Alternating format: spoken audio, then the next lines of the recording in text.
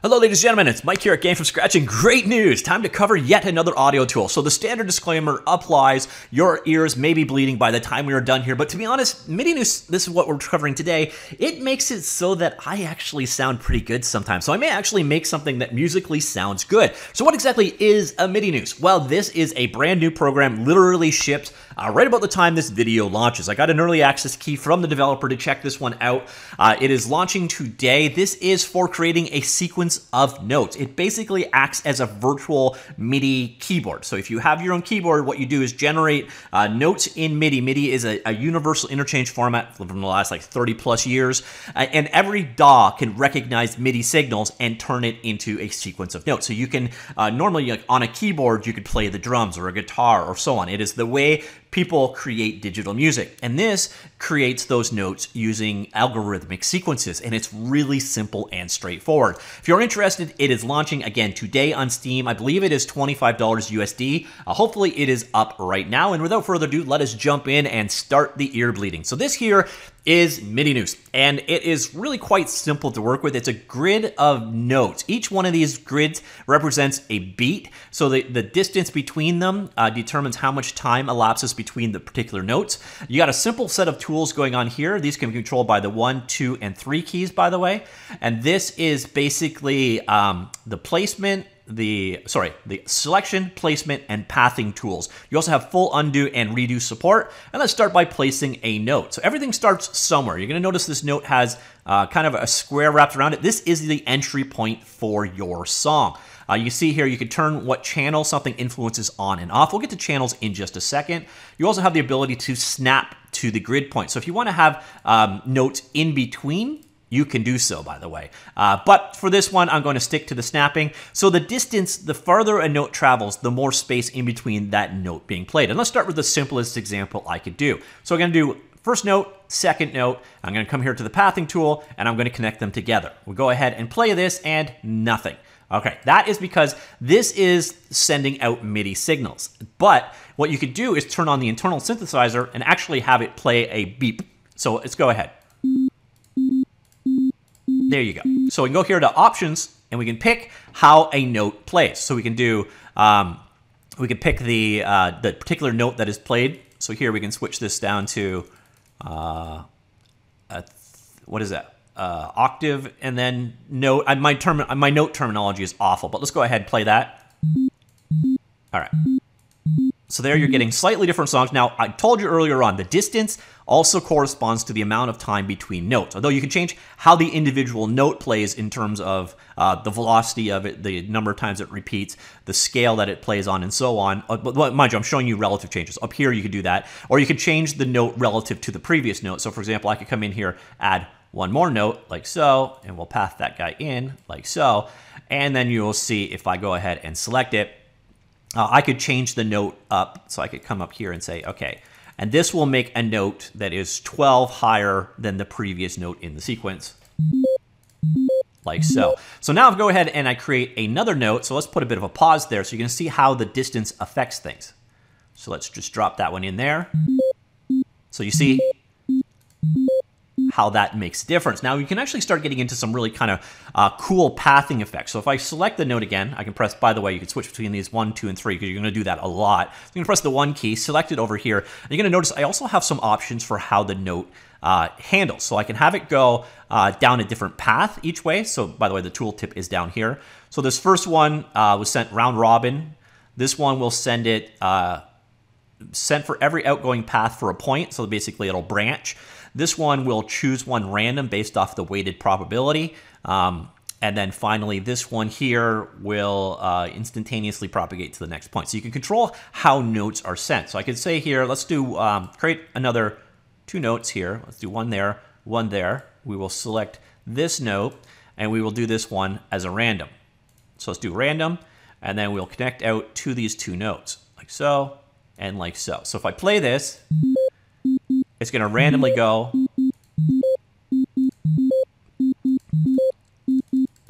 All right. My randomness isn't as random as I was expecting. So for this, what we need to do is set the path weighting. So you see, I can actually select the uh, the pathing here, and you're going to notice we have a number of different connect options. So here I'm going to go ahead, I'm going to set that weight to 5, and I'm going to set this one, I'm going to set the weight to 5. It should be 50-50 weighting. I'll go ahead. We go that way. So you see how each play, it goes, okay, this is like losing 15 coin flips in a row. There you go. So you saw it goes in whichever direction based off of the particular weighting. And I think the original problem when I was showcasing this is a one weight and a one weight should have actually been 50-50 to go each path. I think I was just losing the coin flip every single time. And then you can also even really do, if you wanted to, we could create a loop like so, and then we'll just connect this guy to here, to here.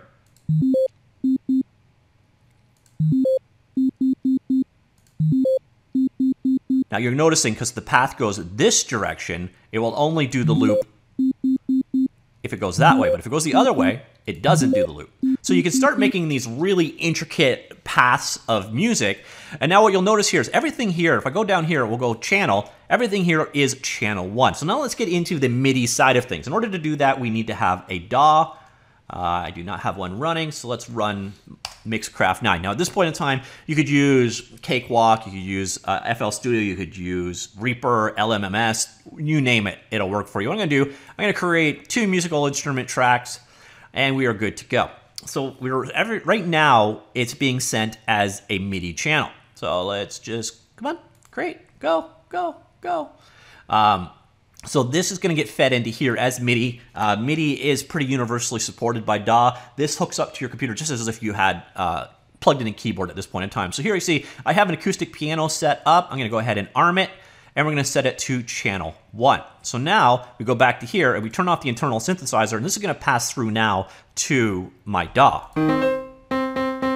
So here you can see how you could start creating uh, music, uh, uh you know, real music, of real notes. So let's go back here to our first note here. We're going to change it to the uh, be careful, don't use this one. And we're going to start a second sequence of notes. So I'm going to come down here and let's do one here, one here, and one here. And uh, select them. And these are all going to be channel two. And I'm going to, I'll do a random sequence of notes. So here, channel 2, and this one will be, um, I don't know, 45.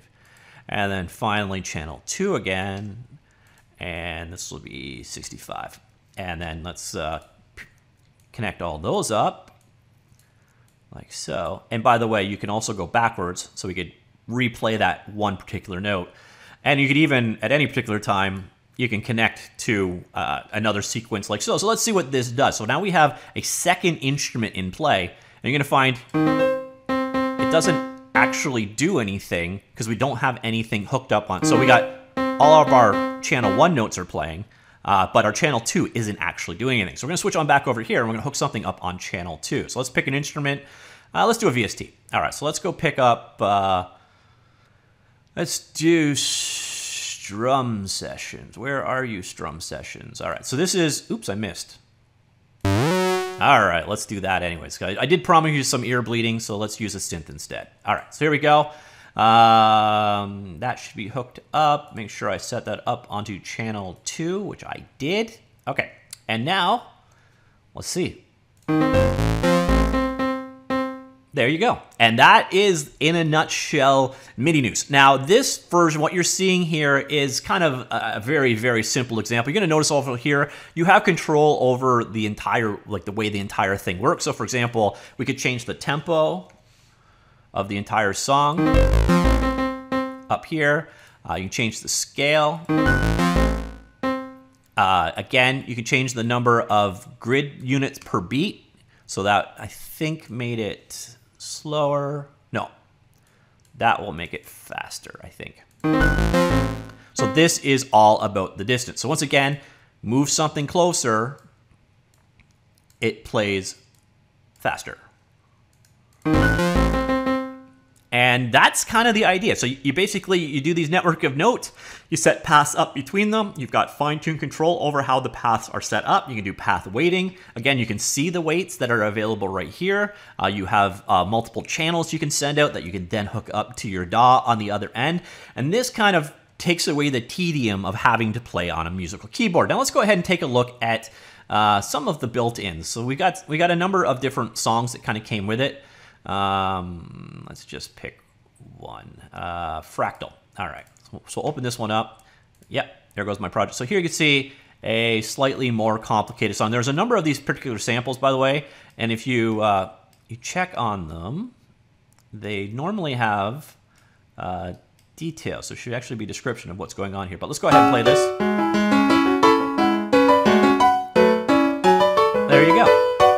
Now this song is all played entirely on channel one. Again, I can switch to the internal synth and get like so, or I can turn the internal synth off. And let's go over here and change from acoustic. So this is the one that's hooked up on channel one, by the way. And let's change that to cymbals. So we're gonna do all hi-hats. okay, so there we go. Synth is turned off.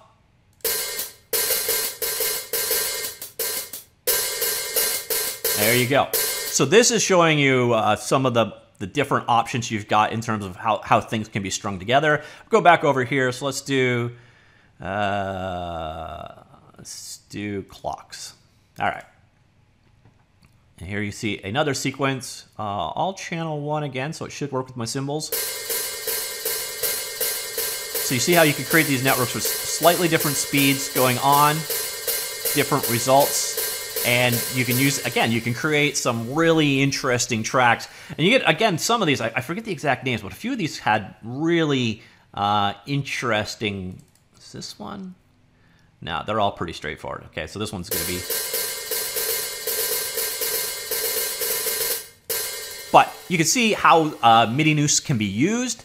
Uh, it's it's a very interesting program. Uh, again, grid-based nonlinear MIDI MIDI sequencing. Uh, MIDI is a universal format. Pretty much, if your DAW does not support MIDI, your DAW is not a DAW. Uh, and I, I, found it just turnkey. I didn't have to do anything. I didn't really have to do any configuration. Uh, the only thing that you're generally going to find is you're going to want to watch launch Midinous first before you launch your DAW. That way the device, the virtual device is actually detected.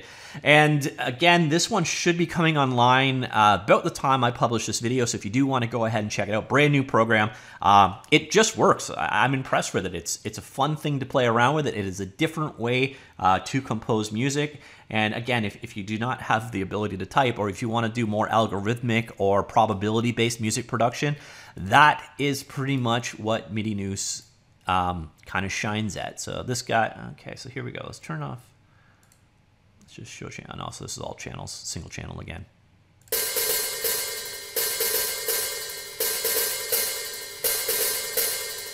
Why is this not doing probabilities on this one? Oh, it is. So there you see, you can do some really interesting uh, effects. The program itself is as simple as it gets to use. Basically, again, you're just sort of dropping between. Do remember, again, one, two, and three to switch between the modes. Uh, select mode, you can pick things up over here. Here, you're in creation or place mode, and that's how you can easily put things in. And then you've got the ability to connect them together. And again, remember paths go in multiple directions and you can create networks super, super easily. And the distance between nodes is um, important to the, uh, uh, the, the, the pace that they'll be played at. So if you want to have a pause, that is one very simple way to uh, have the pacing of your music set, just based off the distance of things in the grid. So, Midinous. that is it. It's an interesting program for sure, a different approach to creating music. I'm curious if there's other software out there. Again, music, the music world isn't really my realm. It's something I like to play with and I like to cover it on the channel. Uh, but I'd be interested, is there other software out there like this? Uh, if so, what do you recommend? And will you be checking out Midinous? Again, it goes live today on Steam. I'd be curious to hear what you think. And I'll, you can check out their uh, website is available at and Midinous, M-I-D-I-N-O-U-S dot com. Um, yeah, so that is it. That is Midinous uh, launching today on Steam. Curious to hear what you think. Comments down below. Talk to you all later, and goodbye.